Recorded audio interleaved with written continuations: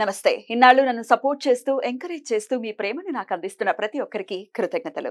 అలాగే ఈ వీడియో కూడా ఖచ్చితంగా మీకు ఉపయోగపడుతుంది. లైక్ షేర్ అండ్ సబ్స్క్రైబ్ చేసి మీ సపోర్ట్ని నాకు అందించండి. అలాగే ఈ వీడియో పట్ల మీకున్న అభిప్రాయాన్ని కమెంట్ సెక్షన్లో కమెంట్ చేసి తెలియజేయండి ఇప్పుడు వీడియోని చూద్దాం. నమస్తే వెల్కమ్ టు అవర్ ఛానల్. నేను పద్మిని. ప్రస్తుతంతో పాటు ప్రముఖ ఆధ్యాత్మికవేత్త ఆస్ట్రోన్యూమరాలజిస్ట్ వేదిక్ వాస్తు స్పెషలిస్ట్ శ్రీ విద్య మరియు హనుమత్ ఉపాసకులు బ్రహ్మశ్రీ డాక్టర్ సిస్లా జయశంకర్ గారు మనతో పాటు ఉన్నారు. మాట్లాడదాం సార్. నమస్తే సార్. నక్షత్రాల గురించి చెప్తూ ఉన్నారు. ఇక పుష్యమి నక్షత్రం.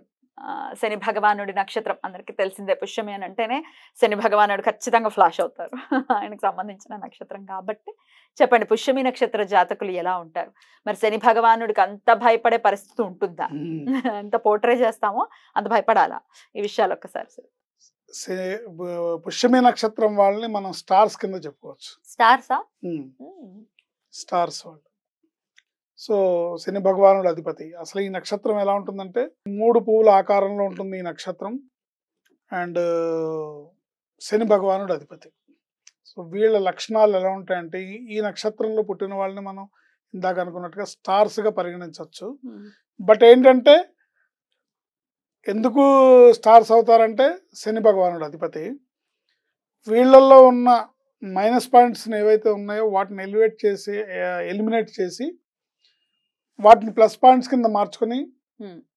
ఆ లక్షణాలని తీసేసి మంచి లక్షణాలు అవల- అవలంబిస్తే డెఫినెట్గా వీళ్ళు సూపర్ స్టార్స్ ఆ లక్షణాలు ఏంటి అనేది వివరంగా ఏంటనేది? మాట్లాడుకుందాము. ఒకటి. తీవ్ర క్రోధం ఉంటుంది వీళ్ళకి. కోపం ఎక్కువ ఉంటుందా? మతిమంతుడు మతిమంతులు అంటే బుద్ధి ఉంటుంది వాళ్ళకి.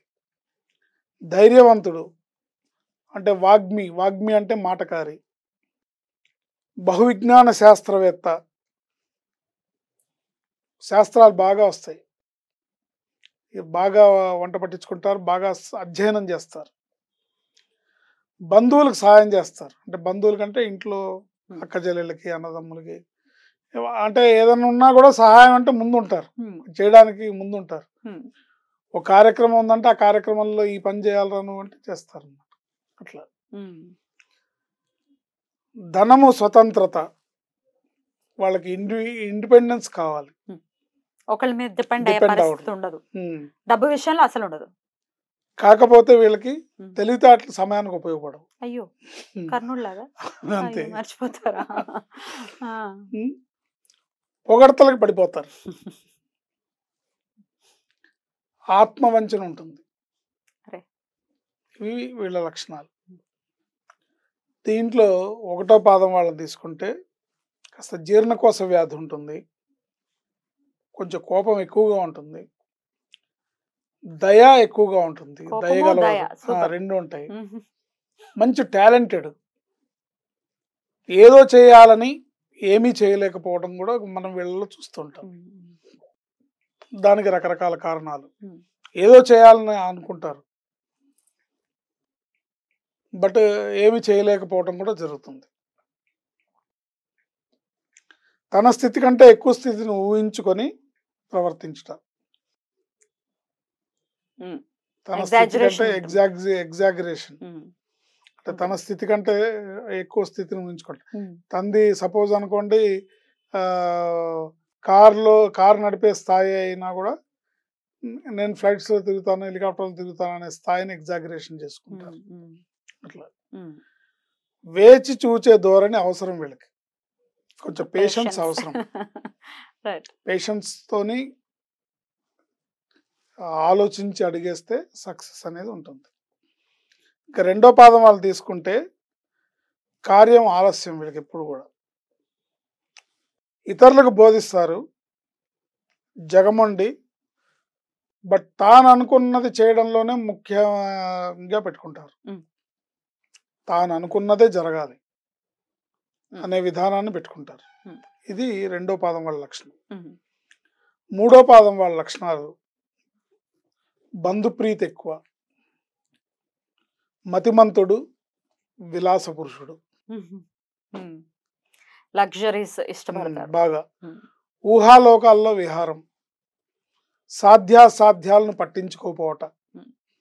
ఊహల్లో విహరిస్తూ ఇది సాధ్యమా. ఏది నేను కుజు మార్స్ మీద ప్లాట్లు వేసేట నేను ప్లాట్ కొంటాను. సాధ్యమా కాదా అనేది చూసుకోవాలి కదా ప్రాక్టికాలిటీ. ప్రాక్టికాలిటీ. దాన్ని పట్టించుకోకుండా మాట్లాడడం వల్ల వీళ్ళకి కొంత సక్సెస్ అనేది వెనక్కి వెళ్తూ ఉంటుంది. ఇలాంటివన్నీ ఎలిమినేట్ చేసుకుంటే వీళ్ళు సూపర్ స్టార్స్. నాలుగో పాదంలో తీసుకుంటే తగాదాలు. తగాదాల ప్రీతి. అంటే గొడవ అంటే ముందు రెడీ నడు. ఏ ఎవడు కత్తి కాలు దూతారు. కాలు దూకుతారు బాగా కోపం. కొంత స్త్రీ వ్యసనం మూర్ఖులు లేని దాన్ని ఉన్నట్లు ప్రదర్శించడం ఇలాంటి లక్షణాలు ఉంటాయి. వీటిని అవాయిడ్ చేసుకోగలిగితే అంటే వీటిని తెలుసుకొని అవాయిడ్ చేసుకోగలిగితే వీళ్ళ జీవితంలో సూపర్ స్టార్స్. జనరల్ గానే ఎందుకంటే వీళ్ళకి బుద్ధి జ్ఞానం ఎక్కువ ఉంటుంది విచక్షణ ఎక్కువ ఉంటుంది ఆలోచన శక్తి ఎక్కువ ఉంటుంది. బాగా చదువుకొని శాస్త్రాలు అవి చదివే తత్వం ఎక్కువ ఉంటుంది. ఉన్నప్పుడు మిగతా మైనస్ పాయింట్స్ని ఎలిమినేట్ చేస్తే బ్రహ్మాండమైన స్థాయికి వీళ్ళు రీచ్ అవుతారు. డెఫినెట్లీ. శని భగవానుడి గురించి చెప్తే డిసిప్లైన్ ఇస్ అ మస్ట్ అని చెప్తూ ఉంటారు. ఇక ఆయనకు సంబంధించిన వ్యక్తులే కదా కాబట్టి డిసిప్లైన్ ఎంత ఎంత వరకు ఉండాలి ఖచ్చితంగా వీళ్ళకి? డిసిప్లిన్ అనేది నూటికి నూరు పాళ్ళు ఉండాలి.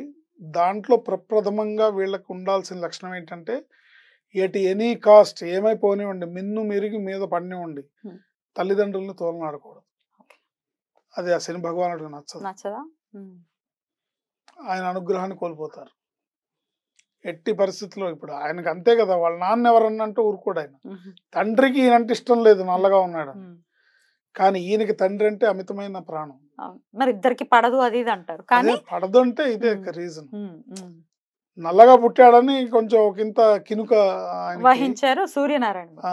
కానీ శనికి అట్లాంటిది తండ్రి అంటే తండ్రిని ఇప్పుడు తండ్రే ప్రధానం ఆయనకి రాముడు లాంటి వాడే. అయితే మా శని భగవ మన శని- భగవానుడు. తండ్రి తండ్రి అంటే ఆయనే కాదు.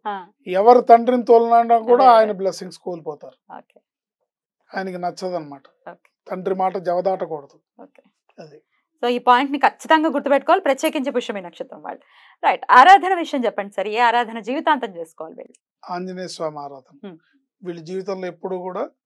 ఎట్టి పరిస్థితుల్లో శనివారం నాడు ఆంజనేయ స్వామిని దర్శించుకోవడం శనివారం నాడు ఆంజనేయ స్వామి పూజ చేయడం శనివారం నాడు ఆకు పూజ వడమాలు ఏదో పూజ చేయించుకోవడం ఆంజనేయ స్వామి ప్రదక్షిణాలు చేయడం హనుమాన్ చాలీసా చదువుకోవడం. ఇంకా వీళ్ళ భక్తి కొలది ఎంత ఎక్కువ అధికస్య అధికం ఫలం. ఎంత ఎక్కువ చేసుకుంటే అంత మంచిది. ప్రతిరోజు చేసుకున్నా కూడా మంచిదే. కానీ శనివారం నాడు తప్పనిసరిగా ఆంజనేయ స్వామిని దేవాలయానికి వెళ్ళి దర్శించడం అనేది వీళ్ళకి అన్ని రకాలుగా కూడా మంచి స్థాయికి తీసుకొస్తుంది. రైట్ చాలా బ్యూటిఫుల్గా ఎక్స్ప్లెయిన్ చేశారు. కృతజ్ఞతలు. ఇక నెక్స్ట్ ఎపిసోడ్లో ఆశ్లేష నక్షత్రం గురించి మాట్లాడుకుందాం. నమస్కారం సార్ ఆయుష్మతి భవ